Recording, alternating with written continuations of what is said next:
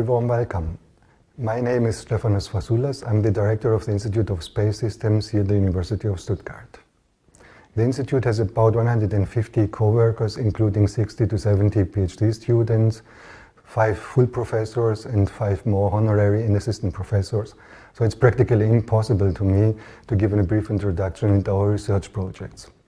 As a compromise, I've asked some of our international PhD students to introduce themselves and also to give a brief introduction into their work. So if you're interested, come with me or say it in Greek, elate μαζί μου.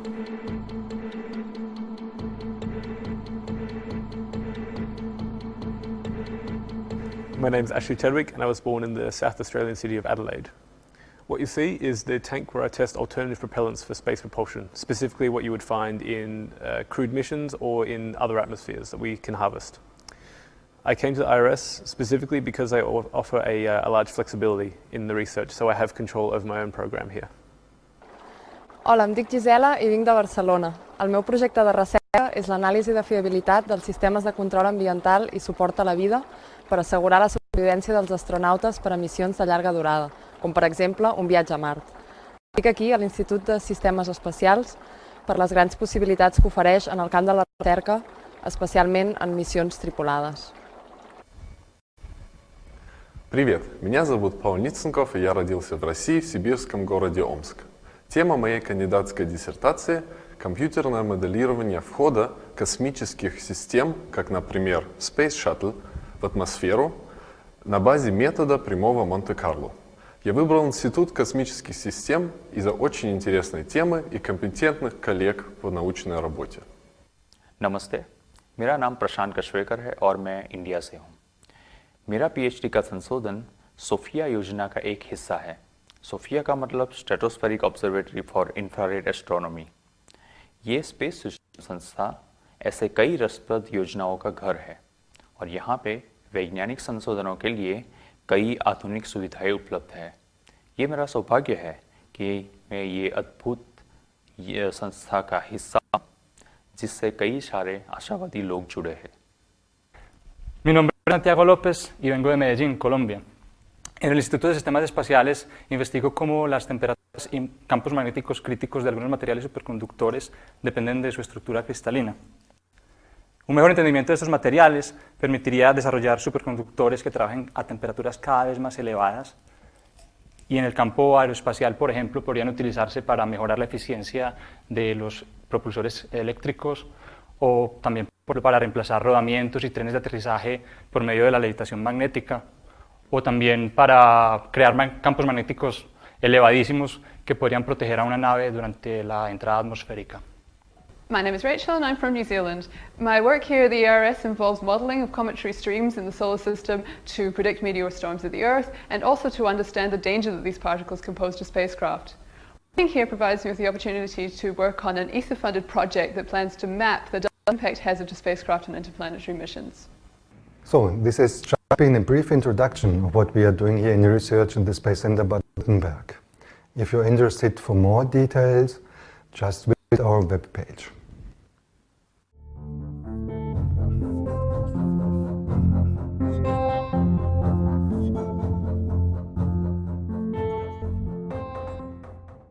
Welcome to Stuttgart, uh, here in my office within the Space Center Baden-Württemberg, uh, to this final lecture within the MOOC at TU9 lecture course network. I've chosen for this uh, lecture the topic orbital mechanics. And I was really wondering whether this would be of interest for you, and I was really thinking um, to give maybe some basic information, some fundamental information um, some, from something which is, um, um, let's say, um, mandatory for every space mission we consider. You have heard in the previous lecture about small satellites uh, orbiting the Earth. We have um, more space missions um, orbiting the Earth, for example, even larger satellites as the International Space Station in the so-called LEO, LEO, or low Earth orbit. We have satellites um, uh, for planetary missions, um, even maybe landing on different planets, and maybe one day also returning from there. For example, as shown here, a Mars sample return mission. We have um, satellites orbiting other planets. We have satellites landing on moons, as for example the Huygens probe, which landed some years ago on the Saturn moon, uh, moon Titan.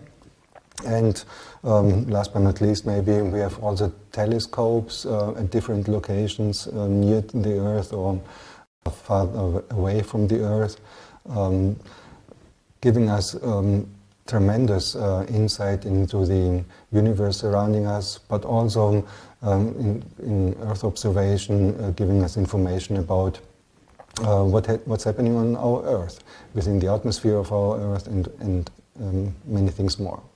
So all these missions um, um are covered by the fundamental understanding of um, orbital motion called orbital mechanics, and that's the reason why I've chosen this topic to give a brief introduction um, going on here. Well, the lesson objectives are therefore uh, to give answers to some typical fundamental questions. For example, why does a satellite stay in orbit? Or even identical, the question, is an astronaut weightless? As we will see very soon. Um, other question might be which orbit types can we realize and which velocities do we need for these orbits. And finally, I will give a brief introduction also to the task of the week. Um, I would like you to give an answer on the following question. Do we feel on Earth the gravitational pull of the Sun? Let's start. Uh, the basics um, for the investigation of this orbital mechanics um, were given by Newton.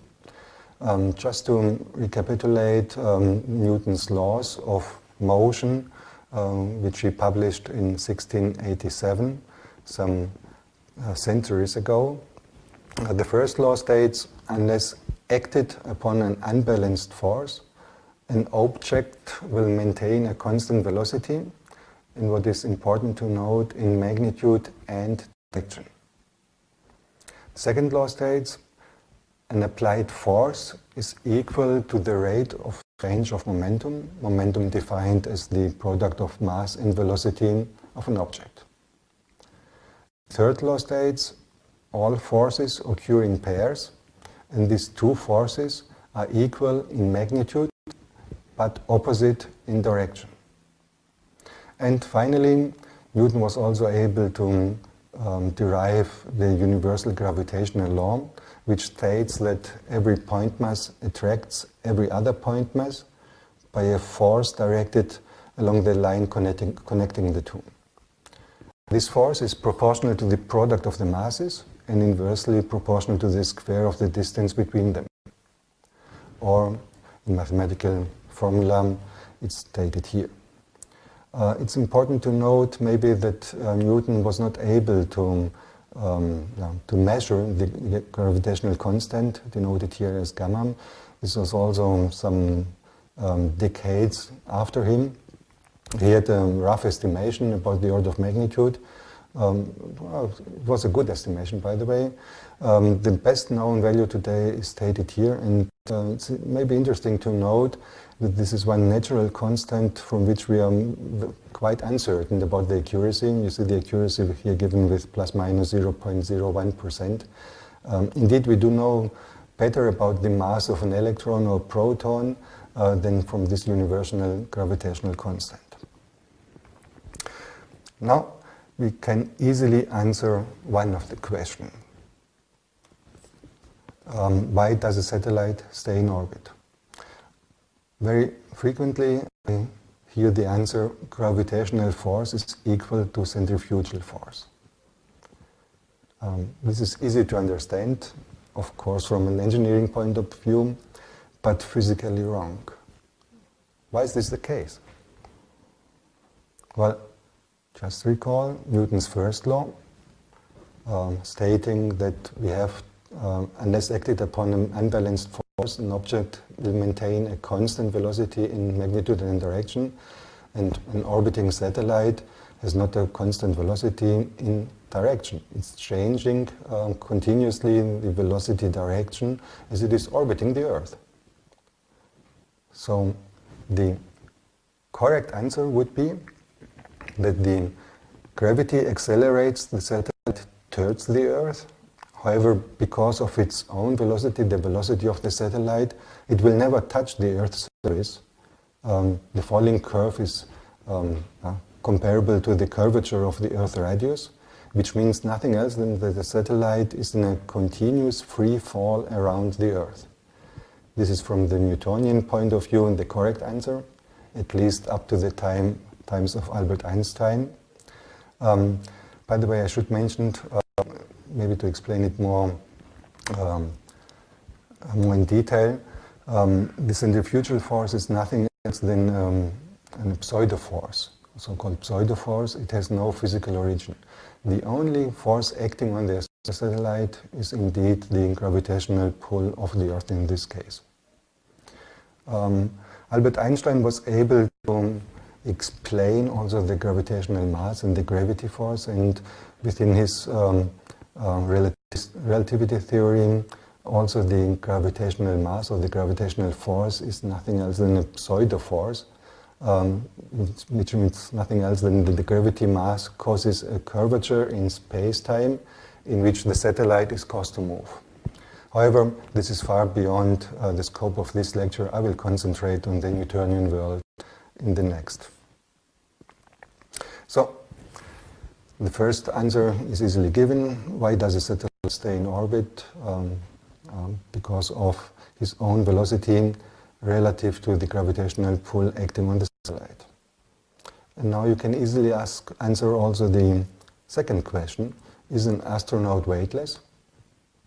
Well, an astronaut is nothing else than a satellite orbiting the Earth, so we can easily ask, answer, um, an astronaut is not weightless, it's the gravitational pull is still acting uh, on, the, on the astronaut, and similarly to the satellite, is in a continuous free fall around the Earth. The next question is, which orbit types can be realized? Well, one of the basic equations in orbital mechanics is the so-called Vis-Viva equation or energy conservation equation, which means nothing else um, than the, um, the kinetic energy plus the potential energy of a satellite orbiting a central mass must be constant. If you um, discuss this equation more thoroughly, uh, it turns out the solutions for the possible orbit of this equation um, are so-called conic sections, which means nothing else than elliptical, parabolic, or hyperbolic orbits, as sketched here um, on the right-hand side of the slide.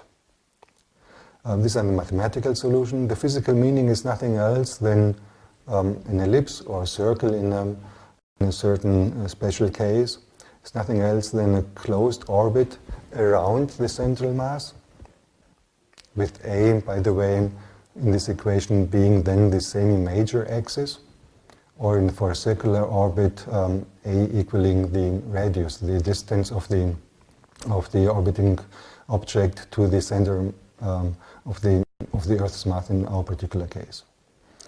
A parabolic orbit would then be uh, an orbit which has at a certain distance r a velocity high enough to escape from the central mass, which means it has um, zero velocity relative to this mass in infinity.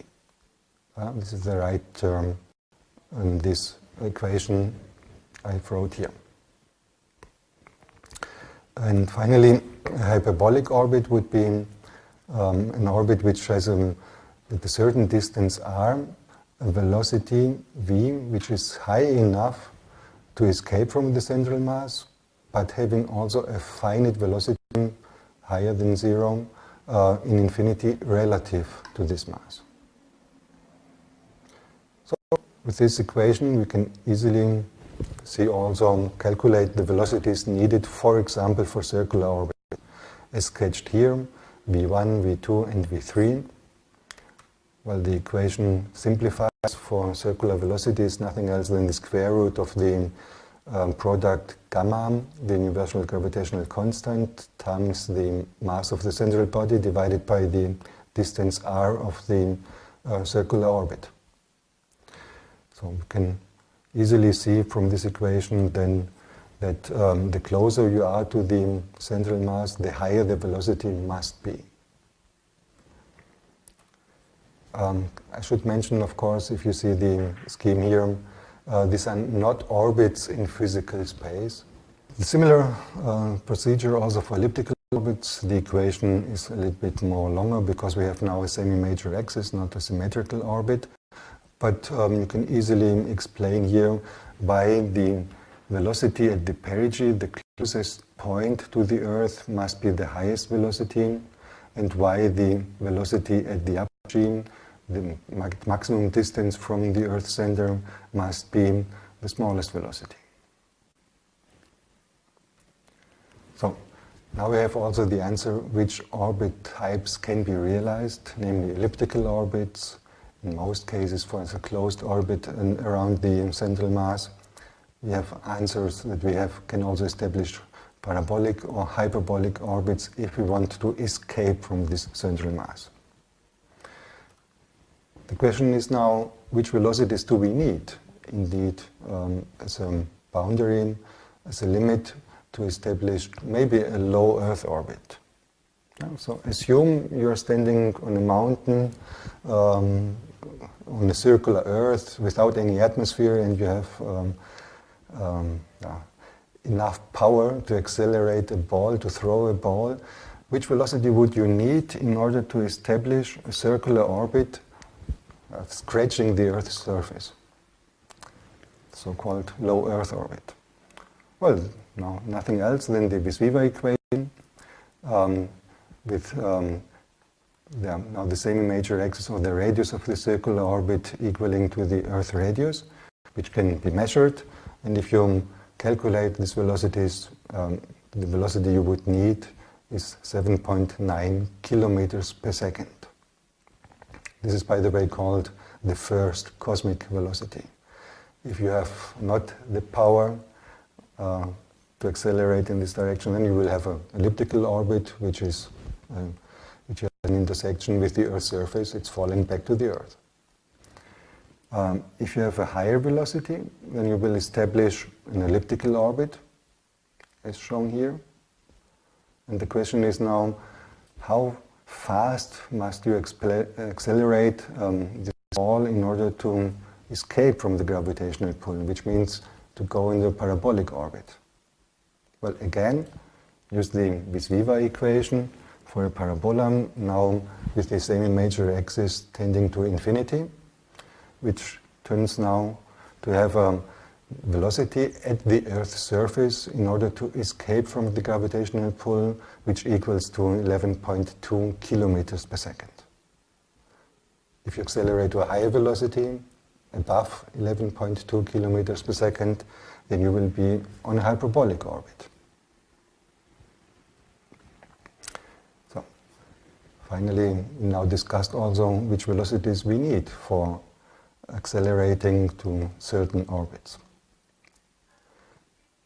Last question, and also partly, partly task of the week. Do we feel on Earth the gravitational pull of the Sun? Well, this, the answer is quite easy, quite comparable also to a satellite orbiting the Earth. Again, if we consider now the two bodies, Sun and Earth, with a certain distance to each other, um, the Earth having a relative velocity to the Sun, we can easily state, based on Newton's first law, again, that the gravitational pull on Earth from the Sun is compensated by a continuous free fall towards the Sun. It means nothing else that the entire Earth, you and I, are in a continuous free fall around the Sun. This is correct as long as we assume a point mass. Now, what happens if we consider a three-dimensional week, uh, three-dimensional Earth? And this indeed is the task of the week, and I'll give you some assistance for um, this question. Um, assuming that we have um, um circular Earth, spherical Earth, um, dividing, having a distance to the Sun of r, the radius of the Earth is giving. We can easily state that the mass element um, in the center of the Earth is being accelerated by the gravitational pull of the Sun towards the Sun and is compensated by a free fall of the Earth, um, which is equal to the accelerating uh, gravitational pull. Now the question is, what happens with the mass element closer to the Sun on this Earth's surface? And what happens to mass element uh, which is farther away uh, from the center of, of the Earth. Um, and assuming that these mass elements are um, rigidly connected to the mass element in the center of the Earth, um, just think about this question, um, what the um, outcome would be.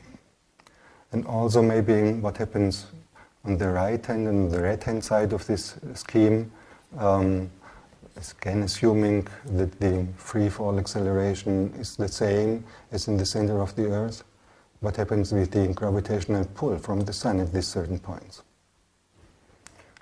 For well, this task of, of the week should be somehow more qualitatively. For those of you who are interested uh, to make more quantitative assessment of this question, I've also given here the numbers for the mass of the Sun, the radius, the distance of the Sun to the Earth, and also the other values needed for calculating more thoroughly.